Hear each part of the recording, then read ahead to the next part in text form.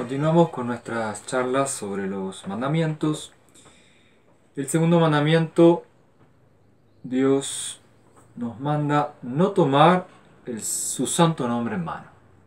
No tomar el santo nombre de Dios en vano.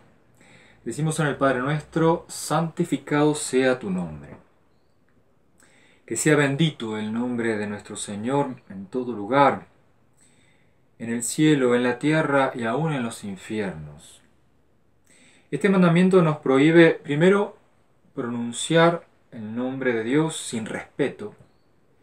Segundo, blasfemar contra Dios, contra la Santísima Virgen, contra los santos. En tercer lugar, hacer juramentos falsos o no necesarios o de algún modo ilícitos. Debemos usar, pronunciar el nombre de Dios con respeto, con adoración, pronunciar su santo nombre y todo lo que se refiere a Él con amor, con adoración. Lo mismo para con el nombre de Jesús y de María y de los santos. Faltar a este mandamiento sería pronunciar estos santos nombres con, por ejemplo, con enojo, con burla o de otra manera poco reverente y se caería en el pecado de blasfemia. ¿Y qué es la blasfemia? Nos preguntamos. Blasfemia es un pecado horrendo que consiste en palabras o acciones de menosprecio o maldición contra Dios, contra la Virgen, contra los santos o aún contra las cosas santas. ¿Qué diferencia hay entre la blasfemia y la imprecación? No tendríamos que preguntar, ¿no? La blasfemia es cuando se maldice o se desea el mal a Dios, a la Virgen, a los santos. Y la imprecación se maldice o se desea el mal a sí mismo o al prójimo. También este mandamiento, no tomar el santo nombre de Dios en vano, prohíbe el juramento vano o falso. Esa mala costumbre que hoy se tiene, ¿no? De jurar por jurar, o aún peor, jurar con mentira, ¿no? Te juro tal cosa, te juro tal otra. Es jurar en vano. Tenemos que recordar que jurar es algo muy importante, algo serio, grave. Jurar es traer a Dios por testigo de la verdad que se dice o de lo que se promete. Yo traigo a Dios de testigo. Él me está escuchando y Él sale de testigo por lo que yo digo. Y jurar en vano es tomar a Dios como testigo de cosas sin importancia. Sería realmente una irreverencia. O en cosas que sabemos que son falsas, que es peor todavía. Dice el apóstol Santiago, capítulo 5, versículo 12. Y sobre todo, hermanos míos, no juréis, ni por el cielo, ni por la tierra, ni con ningún otro juramento, antes bien sea vuestro sí, sí, y vuestro no, no, para que no caigáis bajo juicio, bajo la condena de Dios, el castigo de Dios. Y San Mateo en capítulo 5, versículos 33 al 37, dice, Además, habéis oído que fue dicho a los antiguos, no perjurarás, sino cumplirás al Señor tus juramentos. Pero yo os digo, no juréis en ninguna manera, ni por el cielo, porque es el trono de Dios, ni por la tierra, porque es el estrado de sus pies, ni por Jerusalén, porque es la ciudad del gran rey, ni por tu cabeza jurarás, porque no puedes hacer blanco o negro un solo cabello, pero sea vuestro hablar sí, sí, no, no, porque lo que es más de esto, de, de mal, procede. Si hablamos de más, procede del mal. ¿eh? No siempre está prohibido el jurar. Antes es lícito y aún de honra de Dios cuando hay necesidad. Y si el juramento se hace con verdad, con juicio y con justicia. Dice San Juan Crisóstomo que no está prohibido jurar, sino cómo se haga, en las circunstancias que se debe, sino que lo malo es el abuso y la costumbre de jurar. Hay que evitar, no hay que jurar, evidentemente, pero a veces es importante o a veces se nos pide un juramento por algo importantísimo. Y sigue San Juan Crisóstomo diciendo, la ley de Cristo está perfecta y los que la profesan deben ser tales que no necesitan de testigos ni juramentos para ser creídos, sino que sólo su palabra es de crédito y más fe para con todos que a los otros dos juramentos. Por lo tanto, nuestro juramento entonces debe tener estas tres condiciones. Verdad, juicio, justicia. Si no, no se debe jurar. Cuando se afirma con juramento o lo que se sabe o cree que es falso, o cuando con juramento se promete hacer lo que no se tiene intención de cumplir, por ejemplo, esto es pecado mortal. O cuando se jura sin prudencia o sin madura consideración o por cosas de poca importancia, pecado grave.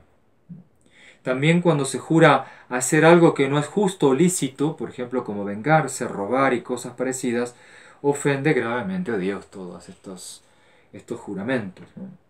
Entonces quien jura en falso comete un pecado mortal, porque deshonra gravemente a Dios que es la verdad infinita, trayéndolo por testigo de lo que es falso o vano. Se cuenta una historia en Salamanca de España que se pusieron a jugar cuatro estudiantes y en el transcurso del juego se expuso una duda sobre un tema y se dijeron entre ellos el que la solucionaba iba a ganar, ¿no es cierto? Y la disputa. Y uno de ellos, con deseo y codicia de ganar, juró en falso, diciendo, aquí me quedo yo muerto si no digo la verdad. Y sin hablar más palabra, cae. Sus codos caen sobre la mesa y se quedó muerto a la vista de sus otros amigos. Y estos amigos se dieron cuenta del castigo de Dios quedaron aterrados, asombrados. Este segundo mandamiento también nos ordena cumplir los votos, además de los juramentos. Voy a hacer tal voto ante Dios. El voto es una promesa que se hace a Dios, dice nuestro catecismo, de una cosa buena y a nosotros posible y mejor que su acto, al que nos obligamos como si nos fuese mandado. Una cosa buena posible y mejor que su acto. Si el voto se hace en todo o en parte muy difícil, se puede pedir el cambio o la dispensa de él al obispo del lugar o al papa, según la calidad del voto, simple, solemne, privado, público. ¿no? Infringir los votos es pecado y por esto se debe hacer este voto con reflexión, con una madura reflexión, con consejo del confesor, nunca hacer un acto de esta clase sin consultar a un confesor, una persona prudente, sobre todo los sacerdotes, para justamente no ponernos en peligros de, de pecar, no hay que exponerse. Los votos se hacen solo a Dios, pero se puede prometer a Dios hacer una cosa en honor de la Virgen, por ejemplo, o de los santos. Otra hermosa historia se cuenta de un noble caballero de Francia que tenía un halcón muy, muy diestro para la caza. Y este, esta ave iba a buscar por sí misma muchas perdices y se las traía a su amo, ordinariamente. Y un día cae enfermo el halcón y este dueño, este caballero, le hizo un voto a Nuestra Señora de llevar una imagen suya muy devota Y un cirio de cera sí daba salud, le devolvía la salud al halcón. Nuestra Señora escuchó sus ruegos y se compadeció de este caballero y le devolvió la salud al ave. Pasaron los días y la esposa de este noble hombre, que era muy religiosa, le recordaba, le decía todos los días, que debía cumplir este voto que había hecho Nuestra Señora. Pero sin embargo, él dejaba pasar el tiempo, hasta que nuestro Señor lo castigó. Justamente un día sábado, el mismo halcón aferró sus uñas en el brazo de su amo hasta hacerle un grave daño en el brazo. Y luego cae el ave muerta a los pies del caballero. Y esto fue por su ingratitud. El brazo, dice la historia, quedó inutilizado y el halcón muerto. Entonces, esto fue el resultado de los que no cumplen los votos o los juramentos que se le hacen a Dios. Entonces recordamos las palabras de San Pablo a los filipenses, capítulo 2, versículo 10 al 11, para que en el nombre de Jesús se doble toda rodilla de los que están en los cielos y en la tierra y debajo de la tierra, y toda lengua confiese que Jesucristo es el Señor para gloria de Dios Padre. Y el hermoso himno del Santísimo Nombre de Jesús, que se reza en la fiesta, en el nombre de nuestro Señor, en una de sus dos de sus estrofas dice, Oh Jesús de dulcísima memoria, que nos das la alegría verdadera, más dulce que la miel y toda cosa, es para nuestras almas tu presencia nada tan, suave para ser cantado, nada tan grato para ser oído, nada tan dulce para ser pensado como Jesús, el Hijo del Altísimo.